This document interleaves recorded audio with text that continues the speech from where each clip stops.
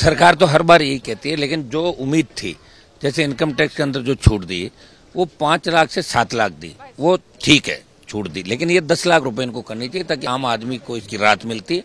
और कर्नाटक के अंदर जहाँ चुनाव है उन्होंने सूखे के लिए वहाँ आर्थिक पैकेज दिया तो राजस्थान में भी चुनाव है। राजस्थान का तो नाम भी नहीं लिया इस बजट के अंदर। तो राजस्थान को निराशा हाथ लगी। आय दुगनी करने की बात करें किसानों की, मोटे अनाज की बात करें तो बाजरा का तो कोई समर्थन मूल्य भी नहीं है, जो सबसे मोटे अनाज के रूप में जिसका बखान ये लोग कर रहे हैं। एक रोज़गार जो देश के अंदर, रोज़गार की कोई बात इसके अंदर नहीं की, जितने खाली पद है देश के अंदर। एक किसान कर्ज माफ़ी एमएसपी, इसके बारे में भी कोई बजट के अंदर विशेष बात नहीं की गई।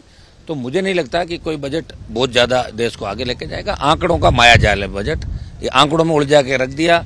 आप दो ढाई घंटे पढ़े हो, क्या क्या क्या नहीं क्या, उसी में उलझा के रख दिया। ये इसको पिछली बार भी जो बजट किया था, वो भी अभी घोषणा की क्रियान्विति इसके ऊपर नहीं हुई पिछले बजट की।